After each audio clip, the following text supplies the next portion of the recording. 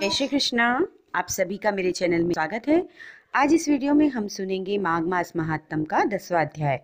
यमदूत कहने लगे कि, हे वैश्य, एक बार भी गंगा जी में स्नान करने से मनुष्य सब पापों से छूटकर अत्यंत शुद्ध हो जाता है। जो मनुष्य गंगा जी को दूसरे तीर्थों के समान समझता है, वो अवश्य नर्क में जाता है। भगवान के चरणों से उत्पन्न हुई गंगा जी के पवित्र जल को श्री शिव जी अपने मस्तक में धारण करते हैं। वह ब्रह्मा जो संदेह रहित प्रकृति से अलग और निर्गुण है, ब्रह्मांड में उसकी समानता किससे हो सकती है?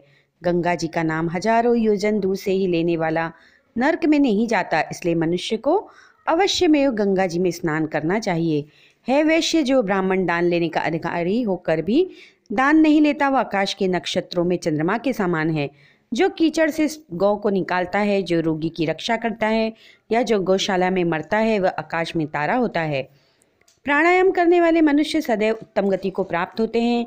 प्रातः समय स्नान के पश्चात जो सोलह प्राणायाम करते हैं, वह घोर पापों से बच जाते हैं, जो पराई स्त्री को माता समान मानते हैं। वह यम की यातना को नहीं भोगते, जो मन से भी कभी पर स्त्री का चिंतन नहीं करता, वह दोनों लोगों को अपने अधीन करता है, जो पराय धन को मिट्टी के समान समझता है, वह स्वर्ग में जाता है। जिसने क्रोध को जीत लिया, मानो उसने स्वर्ग को जीत लिया, जो माता पिता की सेवा दी उतना तुल्य करता है। वह यमद्वार नहीं देखता और जो गुरु की सेवा करते हैं, वह ब्रह्मलोक को प्राप्त होते हैं, शील की रक्षा करने वाली स्त्री धन्य है।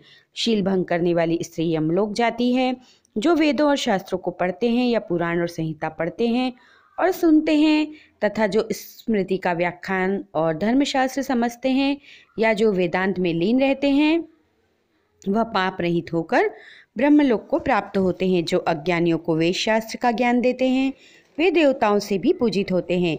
यमदूत ने कहा कि वैश्य श्रेष्ठ यमराज ने हमको वही आज्ञा दे रखी है कि तुम किसी वैष्णव को मेरे पास मत लाओ। हे वैश्य, पापी लोगों को इस संसार रूपी नर्क को पार करने के लिए भगवान की भक्ति के सिवाय दूसरा कोई उपाय नहीं।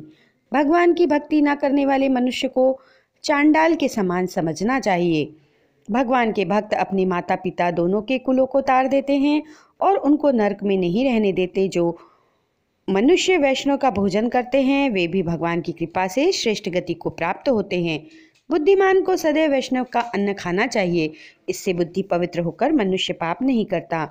गोविंदाय नमः इस मंत्र का जाप करता हुआ जो मनुष्य मृत्यु को प्राप्त होता है, वह परम धाम को प्राप्त होता है, इसमें कोई संदेह नहीं। जो ओम नमो भगवते वासुदेवाय। मनो, मनमो नारायण इस द्वादक्षराय मंत्र का, ओम अष्टाक्षर मंत्र का जाप करता है। उसके ब्रह्म इत्यादि बड़े पाप नष्ट हो जाते हैं। इस प्रकार माघ मास महात्म का दसवा अध्याय संपूर्ण हुआ। तो आपको वीडियो कैसा लगा? अच्छा लगा हो तो लाइक करें, फ्रेंड्स और फैमिली में शेयर करें। मेरे चैनल पर आप नए हैं और आपने मेरे चैनल को सब्सक्राइब नहीं किया तो प्लीज़ चैनल सब्सक्राइब सब्सक्राइब करें और बेल आइकन को हिट करना बिल्कुल ना भूलें ताकि आगे आने वाले वीडियो का नोटिफिकेशन आपके पास सबसे पहले पहुँचे। जय श्री कृष्णा राधे राधे।